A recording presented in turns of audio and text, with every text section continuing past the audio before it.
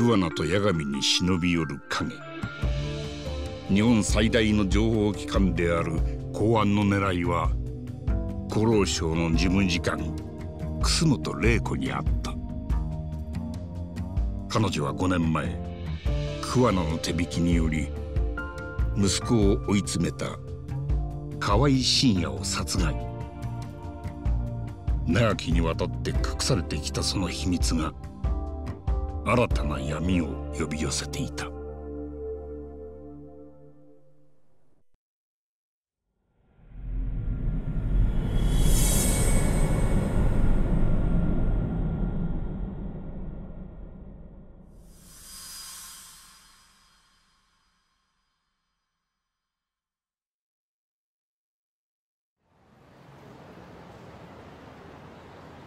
さすがつくも。よく突き止めたな。楠本充の入院先は厚労省近くのそれなりの病院だろうと当たりをつけました。そこで数を絞れたのであとは努力と根性でなんとか。でたどり着いたのが東都大病院ってことか。楠本充はそこで眠り続けてんだな楠本玲子は13年間ほぼ毎晩息子の病室を見舞ってます。事務次官になってからもずっとです。八神氏たちが彼女と直接会いたいのならそこへ行くのがベストでしょしかしよ八神。お前マジで楠本玲子に自首させんのか。なあそのつもり。相手は官僚のトップだそれが殺しをやってたなんてことになったら日本中が大騒ぎになるぞ。そんな秘密を隠すから他の誰かがツケを払わされんだ。沢先生みたいにな。うん。そうだよ。それに楠本玲子が河合殺しで自首すれば公安にはもう動く理由がなくなる。RK をかばう理由もな。そうしたら警察は沢先生の件で相馬を終えるようになるはずだ。確かに僕もそう思います。ただ桑名さんは反対してるんだよね。楠本玲子に自首なんかさせないって。ああ。だから今回はあいつに内緒で動く。楠本玲子を直撃するってことだよな。でも向こうにはずっと公安が張り付いてんだろ？そこは抜かりなく対策してますから。僕らプロの探偵だよ。対策って？まあいいから。八神さん僕はちょっと準備があるから先に出るね。後から東都大病院に来て。分かった。それじゃ。俺は何をすりゃいいんだ八神お前は RK に昔の知り合いとかいない？相馬と阿久津の居所を探ってほしいんだ。できるか？おいお前な。そんなこと俺に。できねえわけねえだろうが。元登場会で RK に出入りしてんのを何人か知ってる。頼んだ。でも気をつけてな。スパイしてんのがバレたら結構ヤバい相手だぞ抜かりねえよ。俺はプロの元ヤクザだからな。んじゃ。あの人は口が悪いだけでいつも協力的ですな。ああなんか最近暇してたらしい。いっそ八神氏の事務所でスカウトしたらどうです？海藤さんが復帰してきたら相談してみるよ。それより悪いのはつくもまた杉浦借りちゃって。何を今さら水臭いですぞ。ではこれにて。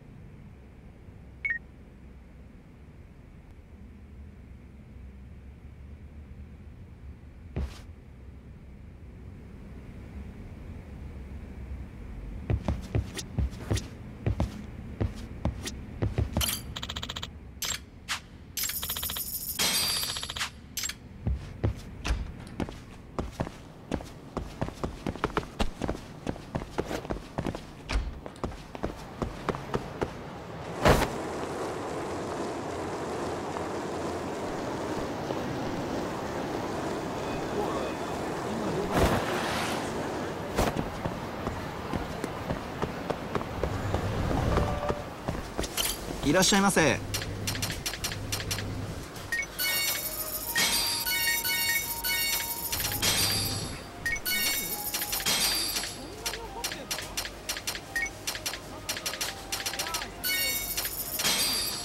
ありがとうございます。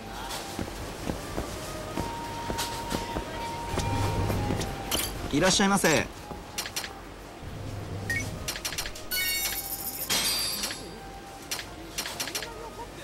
ありがとうございました。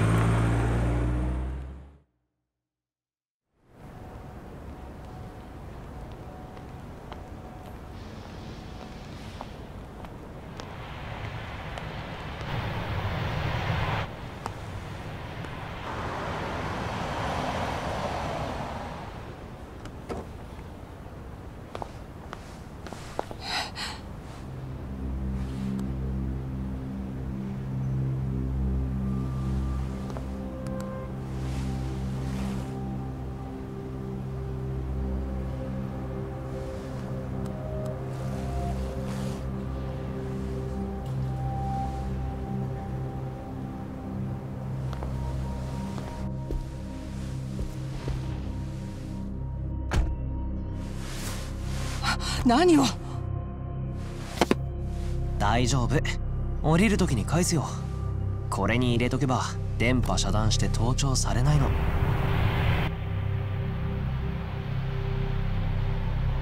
この辺を一回りしたらまた病院前に戻ってきます。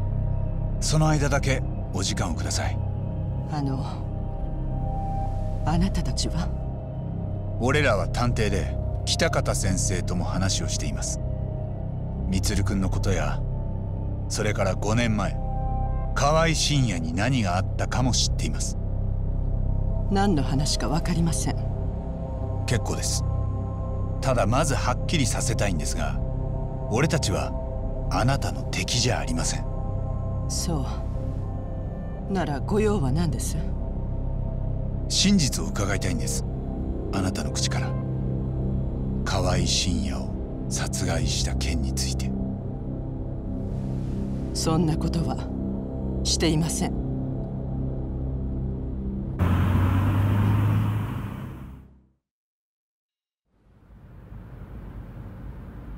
先日北方先生から電話がかかってきましたよね。彼は今桑名と名乗り偉人町で便利屋をしています。あなたに電話をかけてきたのはあることを確かめるためでした。あること？あなたが公安に監視されているかどうかをです。公安ですか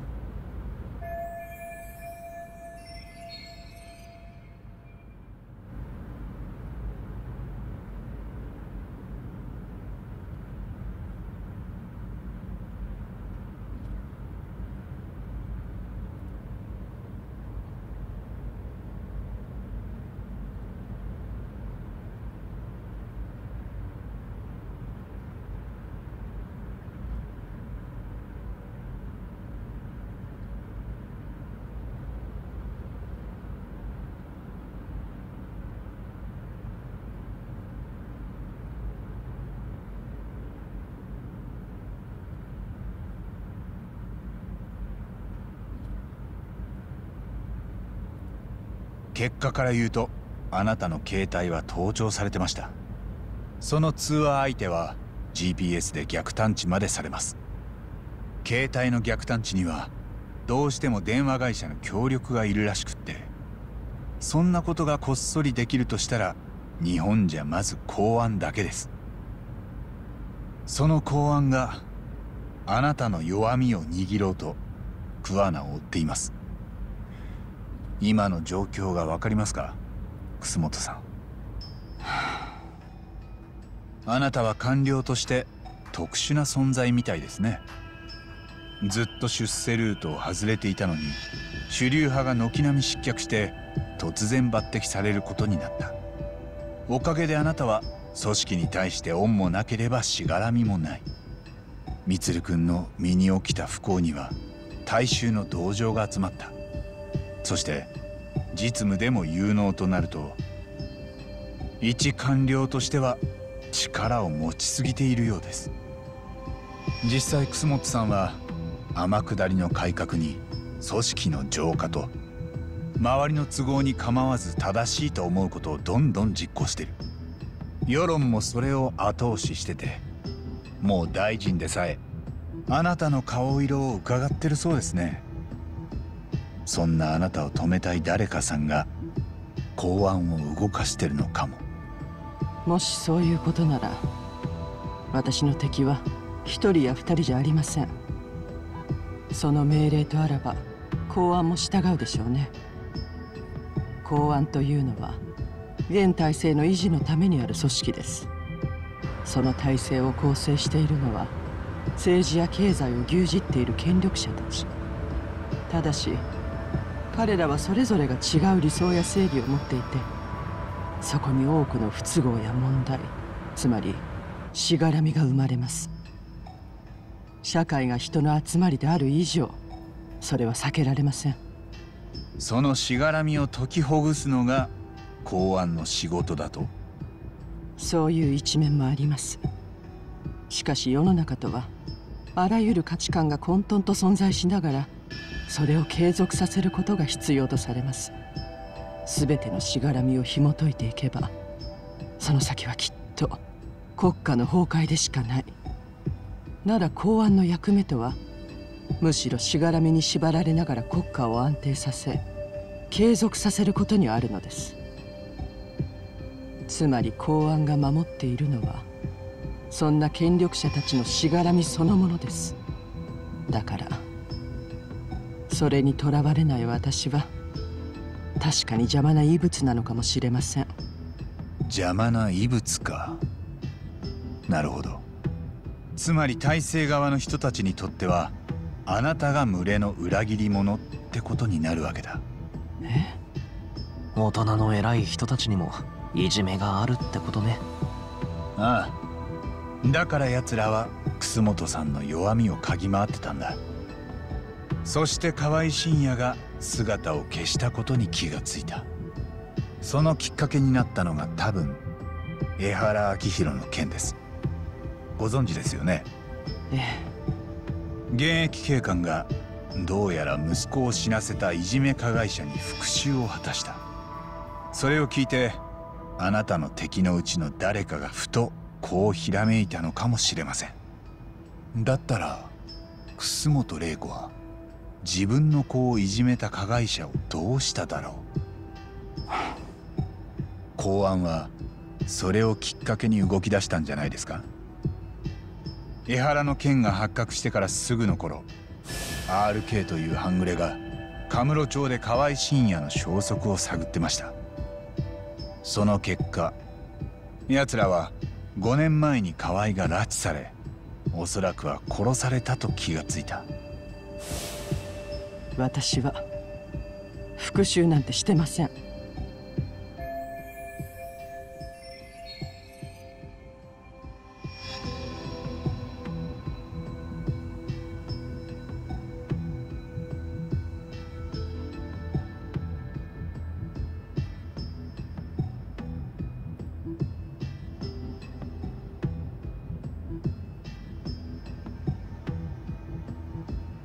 公安は河合の失踪を知ってもまだ半信半疑だったはずです。でももしそこにあなたが関わっていたとしたら儲けものです。彼らは念願だった楠本玲子の弱みを握れる。あなたの話はいつまで続くの？調べを進めた公安はやがて楠本充と江原敏郎へのいじめに共通する人物がいると気づいたんじゃないでしょうか。それが沢先生です。彼女は充君の元同級生で江原敏郎を教えていた教師でもあった。おまけに直近では江原が殺した三越場の教育実習まで担当してたんです。間もなく RK は偉人町まで来て沢先生の自宅へ押し込んでいった。多分その時彼女の口から桑名のことを聞き出したんです。沢先生は桑名が三越場殺しに関わってるんじゃないかと疑いを感じていたようです。そこへ来て RK の相馬って男はプロ並みの尋問をします。暴力と恐怖で知ってることは何もかも喋らされる。楠本さん彼女が殺されたことはご存知でしたよね。桑名との電話でもそう言ってたはずです。あなたはあの人の仲間じゃないんですか？彼は私に迷惑がかからないようにすると言ってました。二度と連絡しないとも。俺と桑名は一時休戦中の商売敵です。仲間とは違います。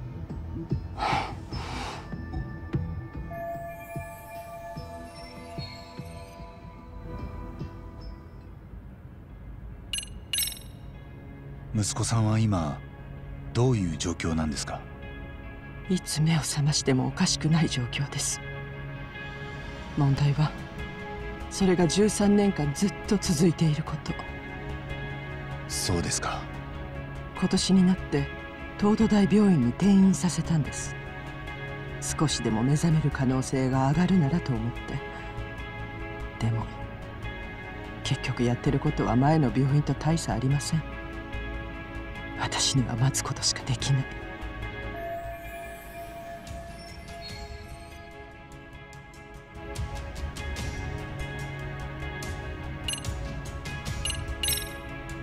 河合信也のことを聞かなきゃなりません。5年前にあなたはその手で彼を殺しましたね。河合に対するあなたの気持ちはわかります。でもどうしてもやらなきゃならなかったんですか？北方先生と話したならあなた方はビデオの件も知ってるはずですよね。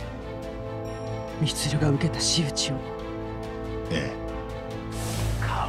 河合はともかく他の生徒たちは知らぬ存ぜぬで何の責任も取らず気の毒そうな顔して充の病室を見舞いに来てましたでも今にして思えば彼らは充に目を覚ましてほしくなかったんでしょうね。だから様子を確かめたかったんです。なのに私は。あの子たちに頭を下げてお礼まで言っていた。北方先生がビデオを見せてくれたのはそのずっと後です。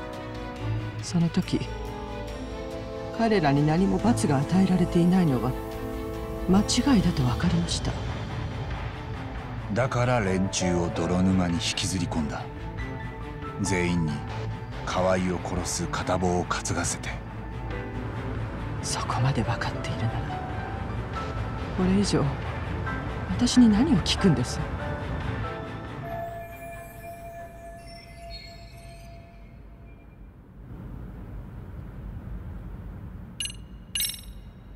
公安からあなたのところに何か接触は？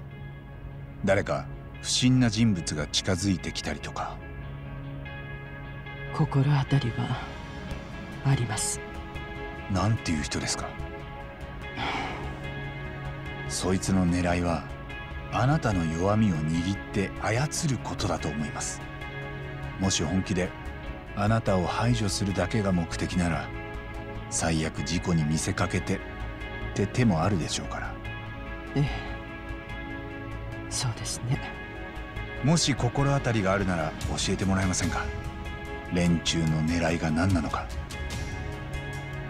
彼らの狙いは厚労省が管轄する年金を動かすことです。年金？国民が積み立ててきた年金を厚労省の独立行政法人が運用しているんです。その金額は約160兆。え？それをもっと利益が出るようリスクを冒してでも運用しろという勢力がいます。要するに厚労省に国民のお金で博打を打てと。それが死にゆく日本経済を立て直す最後の手だと彼らは考えています。この国の未来のために。そういうもんなの？もちろんうまくいけば大変結構です。ですがもし博打に負ければ国を信じた人々の老後に私たちは何の保証もできなくなる。だから厚労省はずっとリターンは少なくても堅実な運用を大方針としています。なるほど。話が見えてきましたよ。え嘘でしょ。ちょっと置いてかないでよ八神さん。連中の狙いは年金を博打に近い運用に変えさせること日本の経済を再生させるためにね。で楠本さんは今大臣でさえコントロールできないっていう事務方のトップだ。そんな人が働きかければ年金運用の大方針も変えられるかもしれない。やれるとしたら今の楠本さんだけだ。実力があって国民からの信頼も厚い。別の新しい事務次官がやろうとしたってそれこそすぐしがらみに潰される。だからその弱みを握って操りたいってこと。ああ。しかももし160兆の博打が失敗した時には全部楠本さん一人のせいにできる。なるほど。それにしても160兆って。もうそこまで具体的な話で接触を受けてるんですか？かもしれませんね。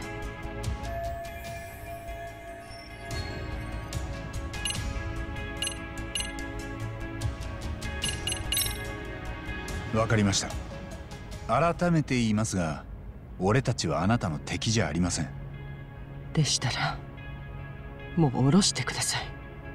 何か桑名に伝えることはありますか？ありますすぐにどこか遠くへ逃げてほしい。公安に目をつけられた以上捕まるのは時間の問題。国内にいたらどこであっても危険です。もし彼が公安の手に落ちたら知っていることは全て引き出されます。拷問とかされちゃうってこと？ええ。その時は多分絶対表に出ない場所で誰だって耐えられません洗いざらい喋らされるでしょう。そして私も。弱みを握られ公安に逆らえなくなる。そうですね。きっと国民のお金は博打に回され何より誰も厚労省の腐敗を立て直せなくなります。そうですか。でもそれが何なんです？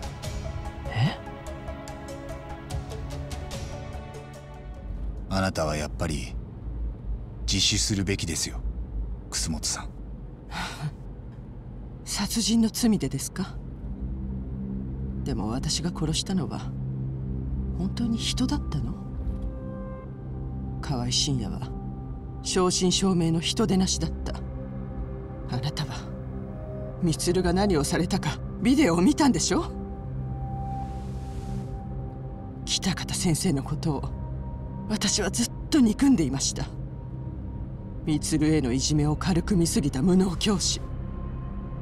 でもそれが8年も経って私の前に現れあのビデオを見せてきた。そしてそこに映る連中を罰しなくてはならないと言った。充のために絶対にやらなければならないと。あなたはそこで踏みとどまることもできたはずです。ええ確かにそう。散々迷いました。いくら恨みがあってもそれは決して許されることじゃない。でも北方先生の言葉が頭から離れなかった。だから私は河合がカムロ町で働いていると聞かされ見に行った。河合は充の飛び降りの直後私に涙を見せて謝罪したんです。会うのはそれ以来でした。あいつが私を見て凍りつきまた一言謝ってくればそこで踏みとどまれたかも。そうはならなかったの ええ。あいつは私の顔を見てもまるで誰だか気がつかなかった。それどころか若い男に言い寄ってきたおばさんだと勘違いしてた。お小遣いをくれれば遊んでやるよって涙は形だけだった。そんなこともちろんずっと前から分かってたけど。私はあいつを殺しちゃいけない理由を見失った。充をいじめてた他の子たちは命が取られないだけ感謝してほしいくらい。だから私は自分に償わなきゃいけない罪があるとは思えないんです。ずっと目覚めない息子の顔を毎日見てるのにこれ以上私に何をしろっていうの？桑名もそう言ってましたよ。でも今言ったのと同じことを彼女にも言えますか？これは澤さん。あんたたちは憎い相手を殺してうまいことやったつもりだろうがその結果起きた彼女の犠牲からは都合よく目をそらしてる。俺は以前誰かの正義に他の誰かが犠牲にされるのを目の当たりにしたことがあります。だから同じことを黙って見過ごすわけにはいかないんです。このスマホは盗聴されていません。もし自首する気になったらこれで俺たちにも連絡くれますか？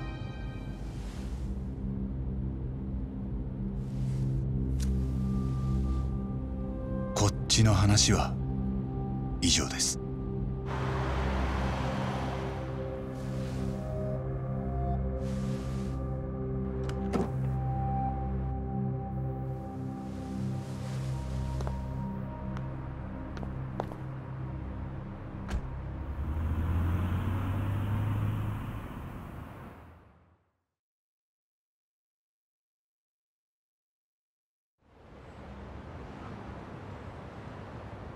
車ここでいいの？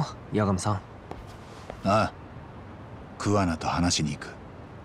楠本玲子に会ったことをさ。多分怒るよね桑名さん。勝手な真似したなって。ああ。だからお前は一緒じゃない方がいいよ。そっか。じゃお言葉に甘いますす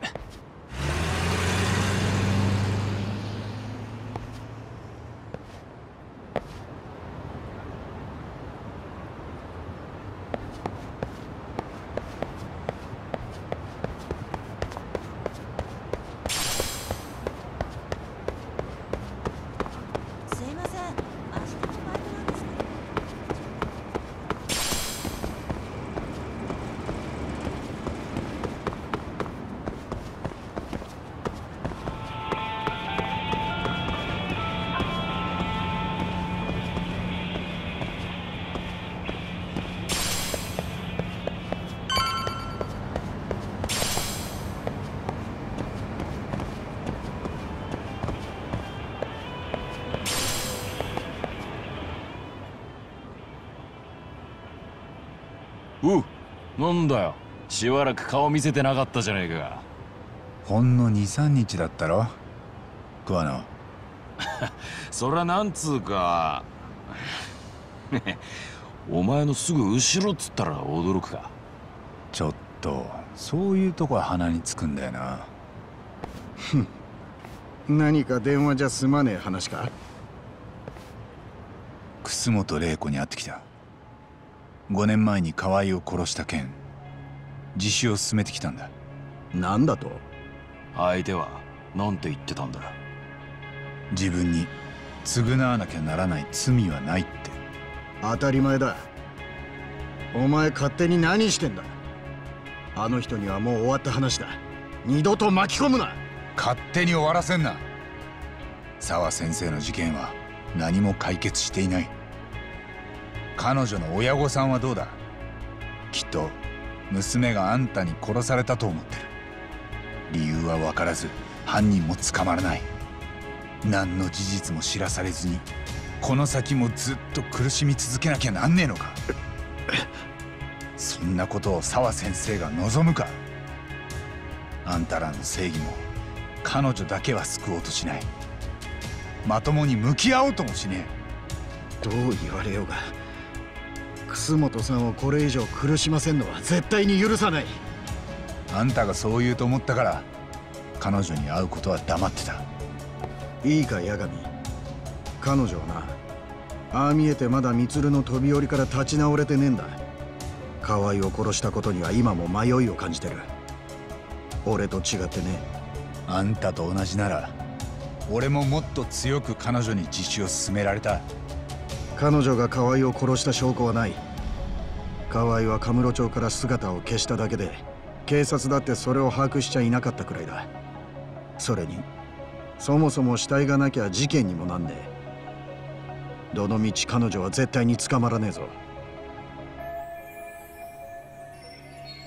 楠本さんが自首したところで警察も扱いに困るだけだ。俺はあんたのことも見過ごせないと思ってるよ。殺してきたのは7人だったよな。もうそこに何の躊躇もないのか。ふん。その証拠は？証拠もないのに人を疑うなんて。お前そんなことで本当に弁護士だったのか？今カムロ町で俺の仲間が江原の控訴に向けて準備してる。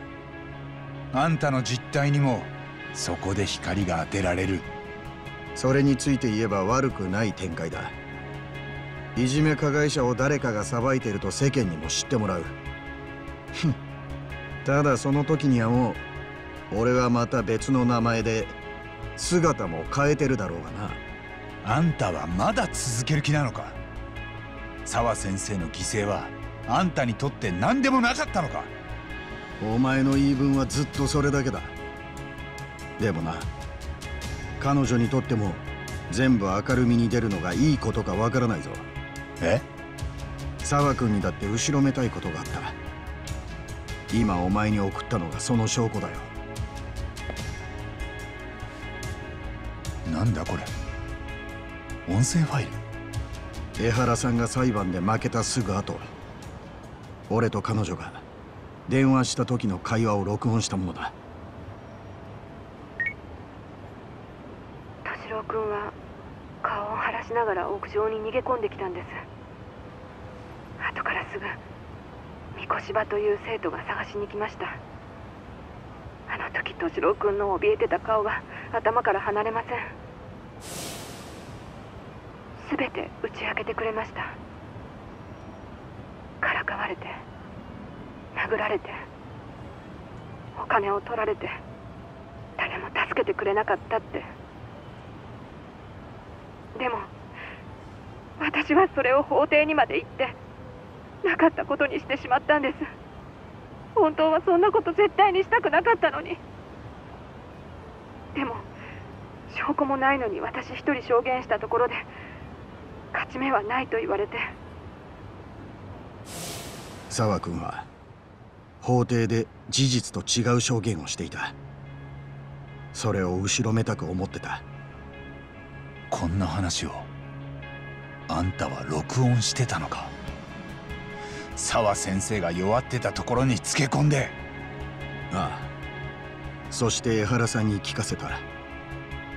あの人には息子が自殺した本当の理由を知る権利があった。あんたは自分の仲間が欲しくて江原の復讐心に火をつけただけだ。いじめってのは人間の本能に近い行為らしいなだから絶対になくならないそうだ。でもよ例えばの話どうせ汚れるからってトイレを掃除しないことあるか？誰かが手汚してきれいにしなきゃ。これからもずっと？俺は第2第3の楠本充を守るためにこの先も殺し続ける抵抗できない相手に好き勝手やる連中は見せしめに制裁を受ける必要があるんだ。よ法が代わりに機能してくれんなら俺だってやりたくない。あんたの言いたいことはわかる。でもやりすぎだ。もうよせ食わな。どうしても俺を止めたいならお前も俺を殺すしかないな。正義のためにさ。は あまた喧嘩が始まるんじゃねえかと思ったよ。この間は後片付けが大変だったんだぞ。次あいつとやり合う時はもう軽い怪我じゃ済まなくなるな。ええそん時はここじゃなくてよそでやってくれ。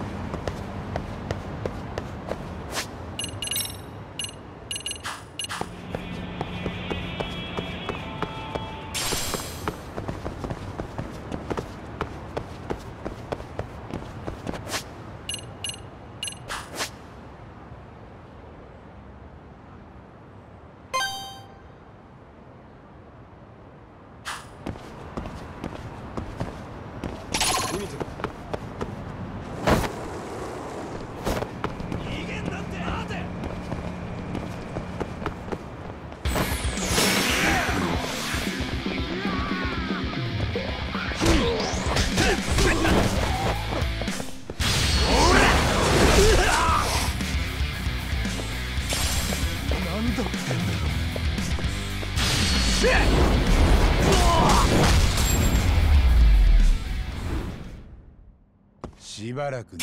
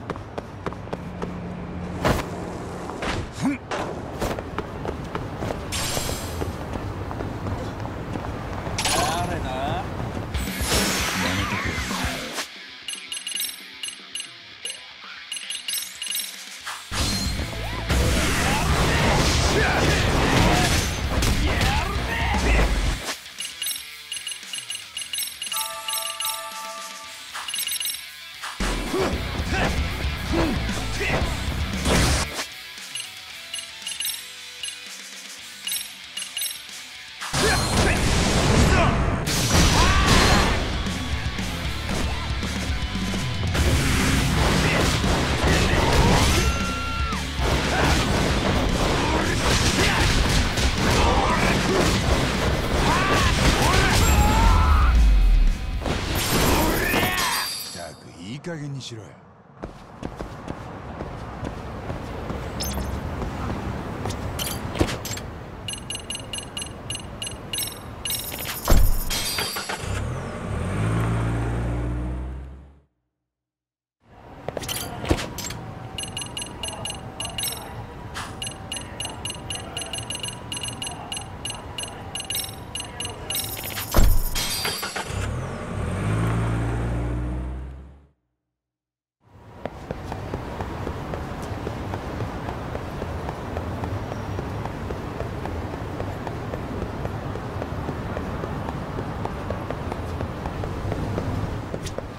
いらっしゃいませ。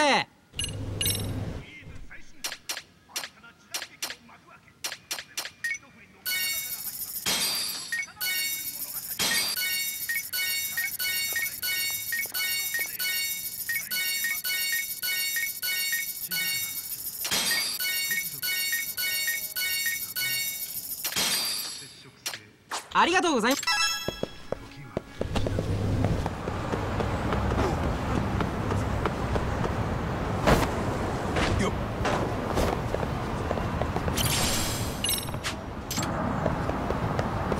あの。ありがとうございました。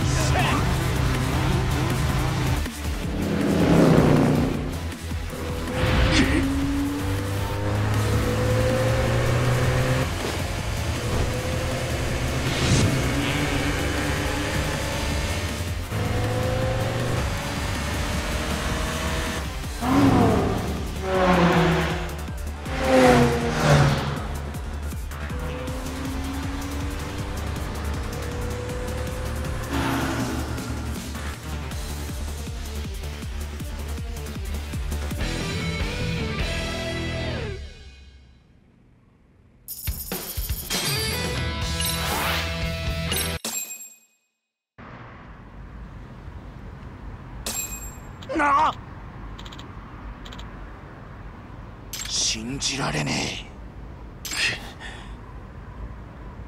え。そうおい。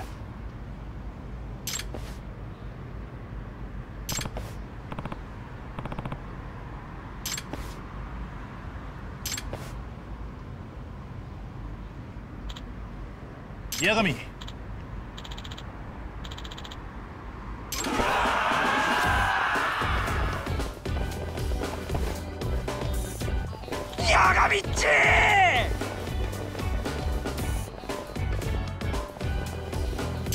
ジパネヤガミ取れるね。牛油園最高だよ。ヤガミッチ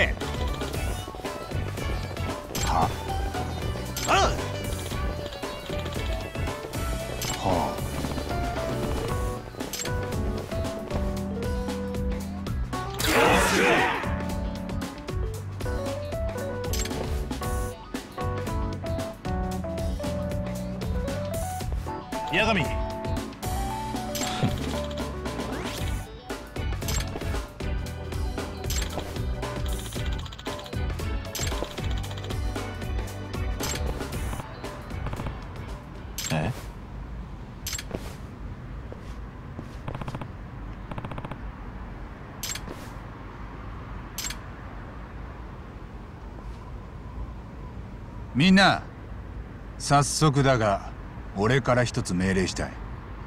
これは四代目総代として最初にして最後の命令になる。最後の？俺がメイドインヘブンに加入しお前らとレースをする中ずっと考えてきたことがある。命がけのデスレースは楽しい。時間が吹き飛ぶほどにな。だが失うものがあまりにも大きすぎる。俺としても大事な仲間が傷つく姿は見たくない。ましてや事故で死んじまう姿なんてな。紫礼二を襲ったような悲劇は二度と起こしてはならない。一人の人間の死がどれほど多くの人間を悲しませ不幸にするか。みんなだって痛感してきたはずだ。皆川里奈やゴースト。いや紫ダン彼らも紫礼二の死によって大きく人生を狂わされてしまった。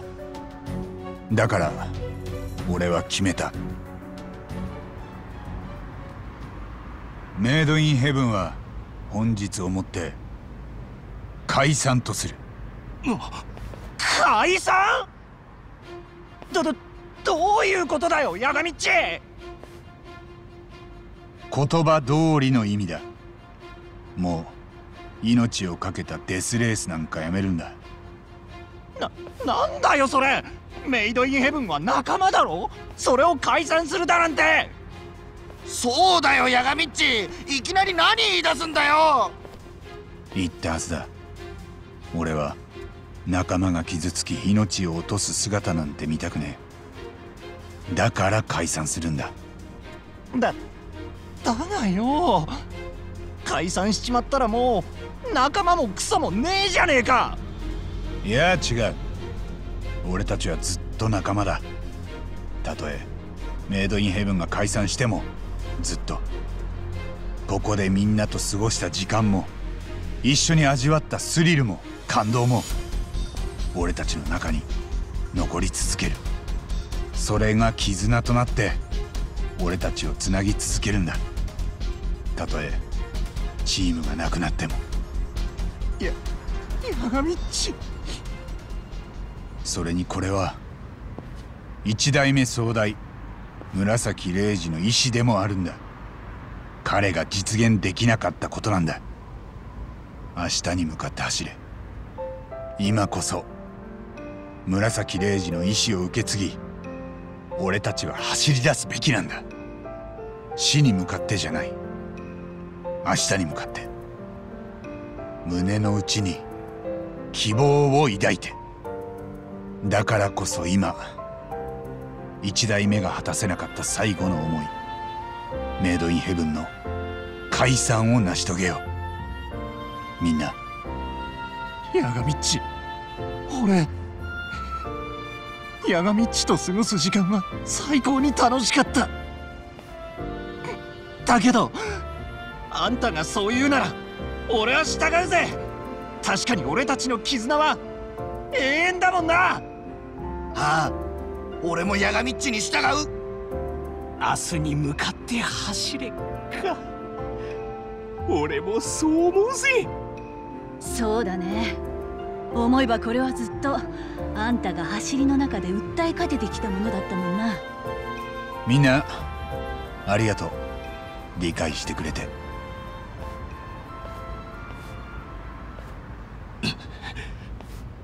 なんだ？俺は認めねえぞ。八神てめえまで。てめえまで俺から走りを取り上げる気か。スオふざけんじゃねえ！解散なんて認められるかってんだよ。お前自分が何言ってるか分かってんのか？これまでルールが絶対だって言い続けてきたろお前自身がそれを破るってのかよ。うるせえ奪わせねえ走ることだけはな絶対に八神力ずくでも撤回させてやるよそうか。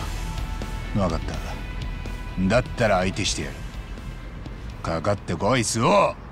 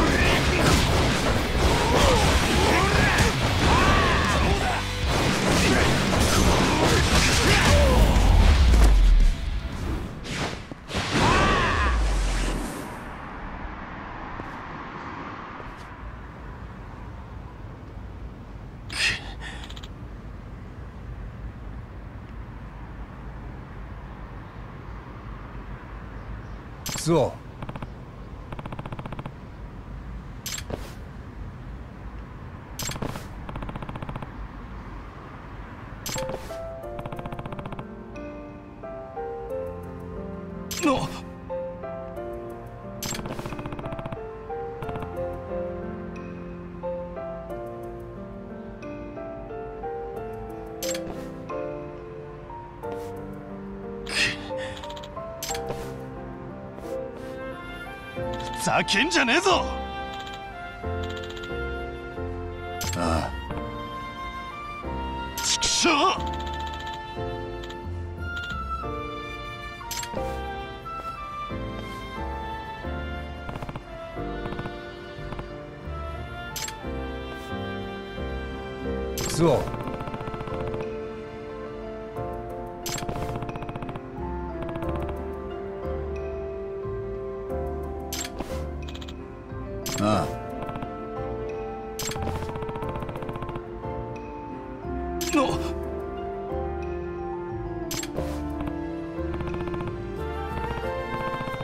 だが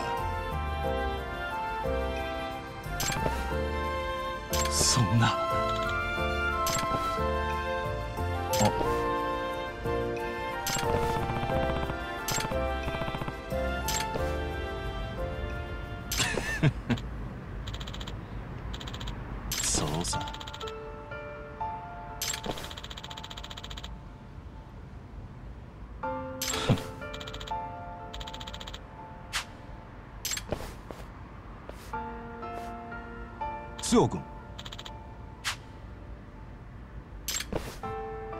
な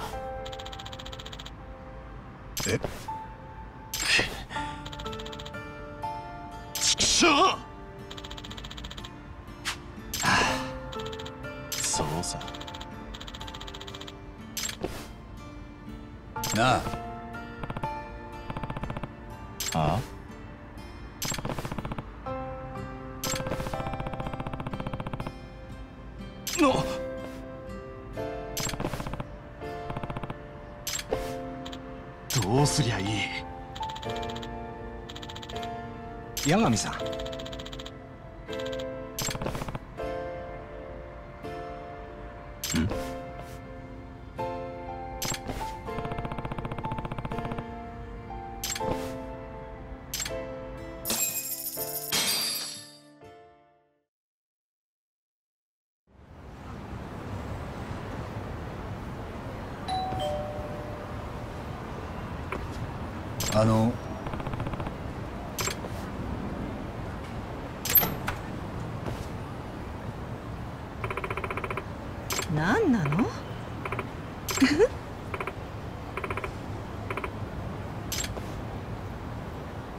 願いします。いきなり何です？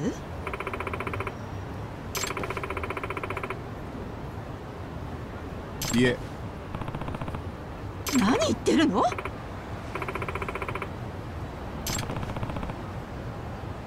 何なの？母さん。それでも俺はお願いします。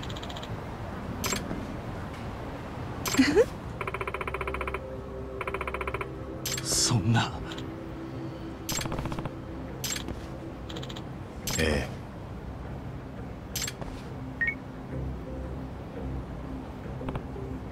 帰ってください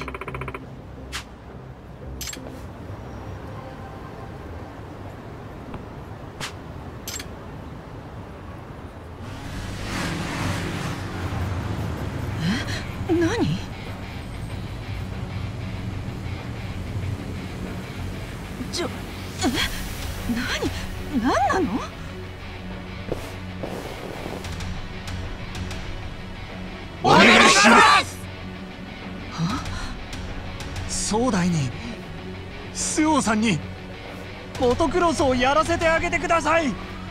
周王の腕はすげえんだ。俺はあの人のレースが見てえ。勉強ばっかしてるスオなんてダッセーんだよ。あいつはレースの時が一番輝くんだ。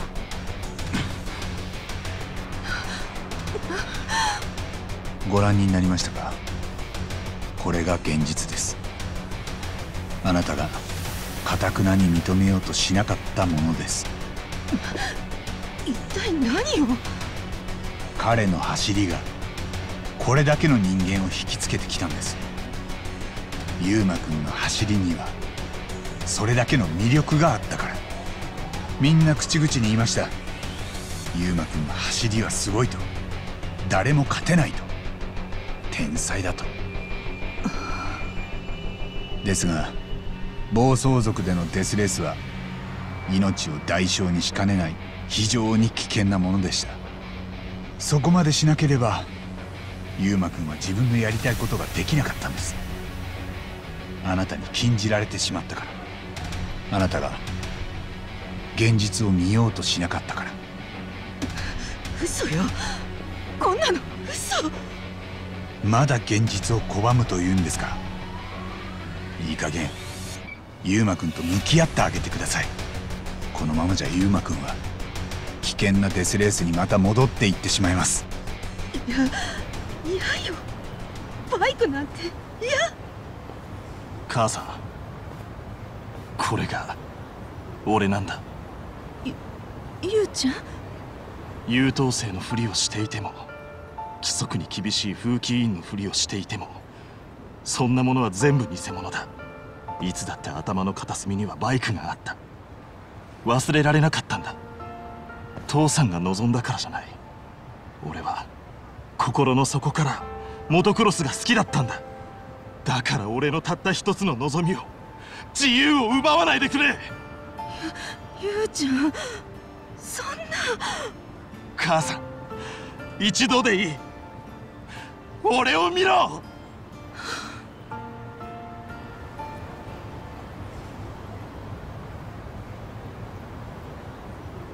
めんね。ゆうちゃん。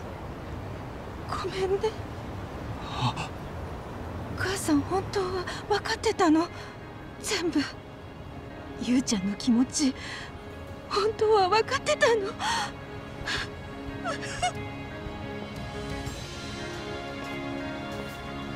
母さん。俺はモトクロスの道に戻る。いいよね？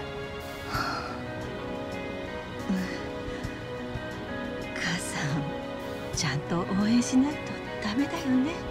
だってゆうちゃんの夢なんだもん。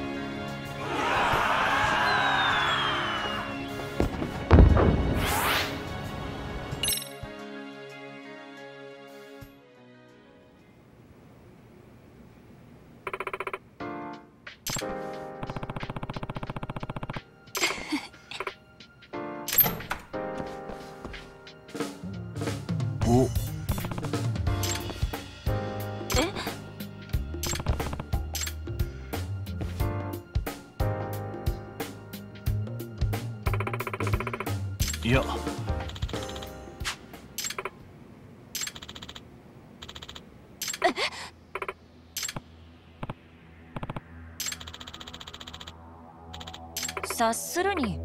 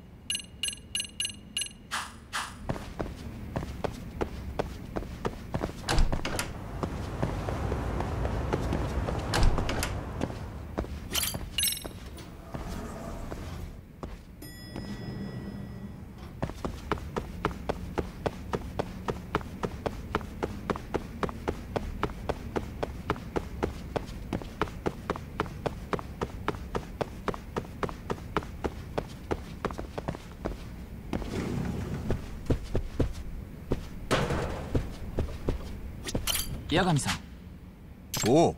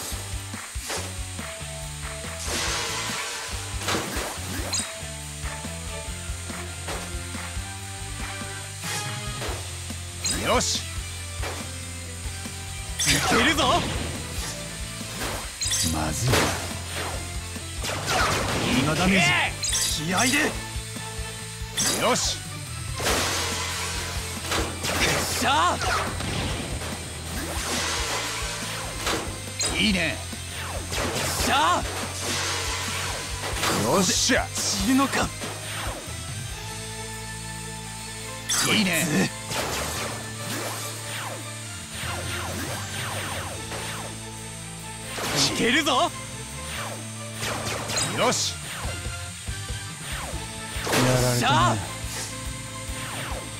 ばそうだな。いいね。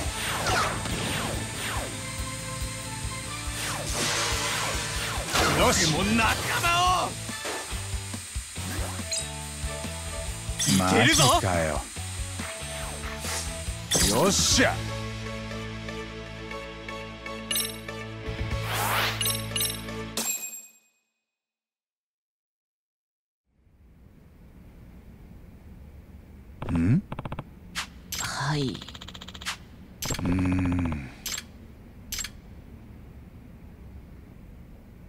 ずいな。おい。マジで？おい。いや。ああ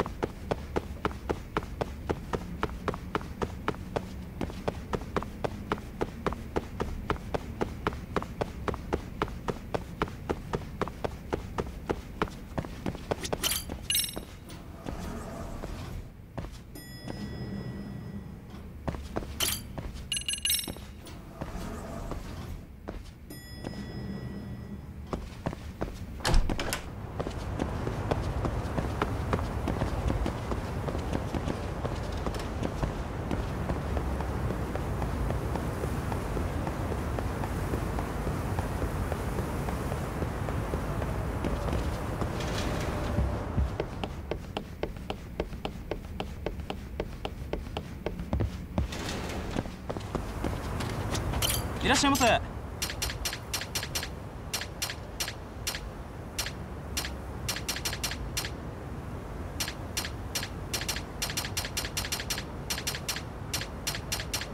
ありがとう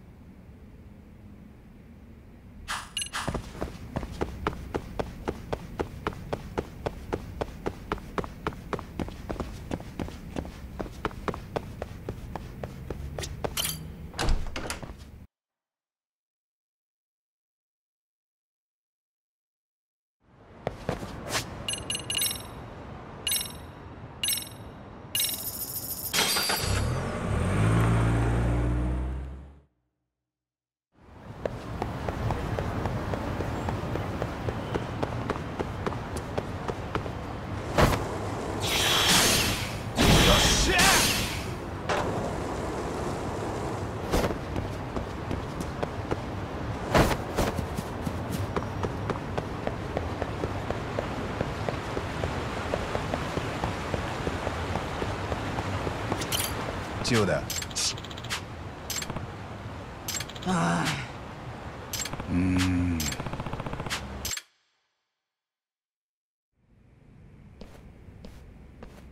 クソが勝負っす。ん？いいっすよ。なあ。ああテ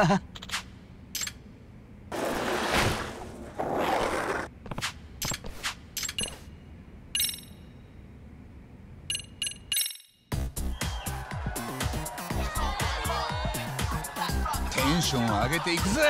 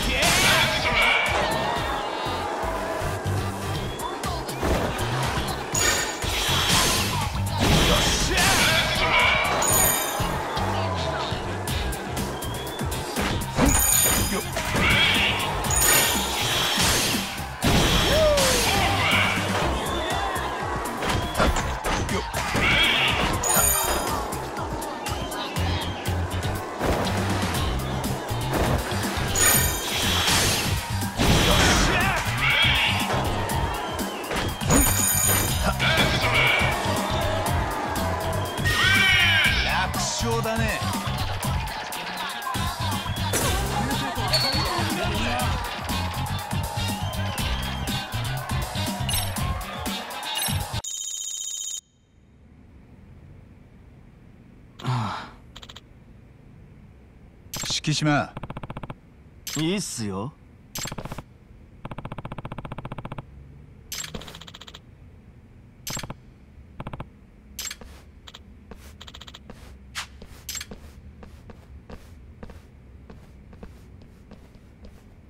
うーんえ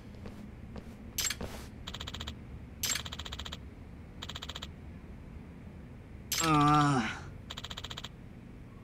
おいい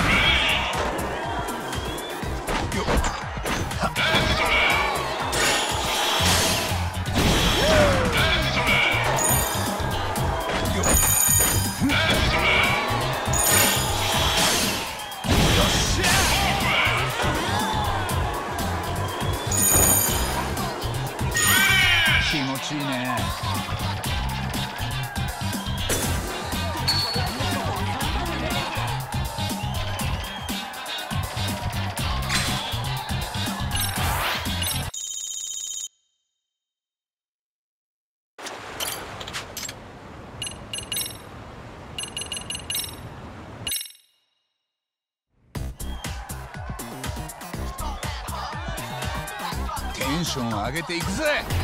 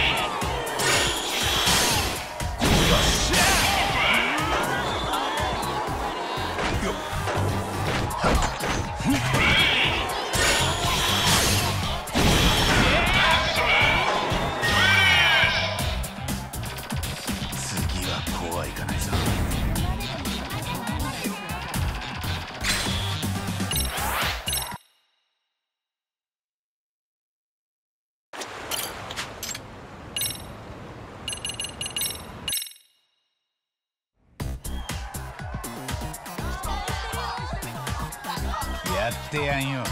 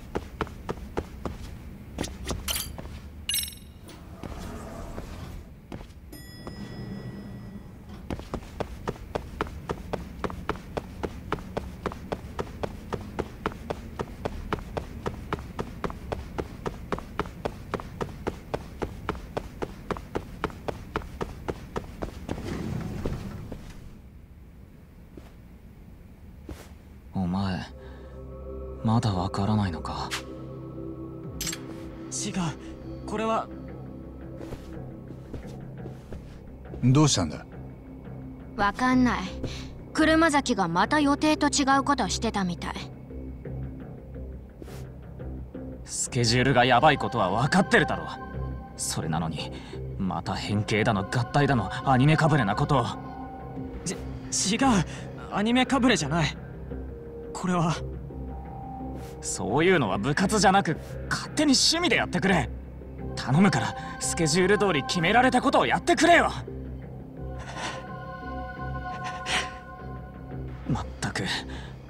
こっちは全て考えてプランを組んでるんだ。僕にだって考えはあるんだ。なんだって？僕にだって考えがあるんだ。え？なく車崎？あ。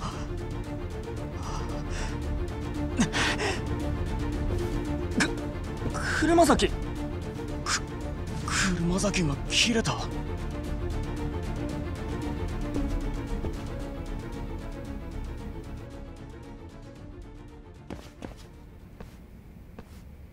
な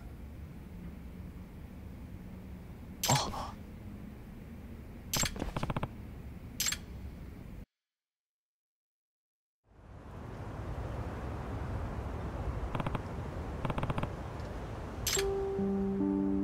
あの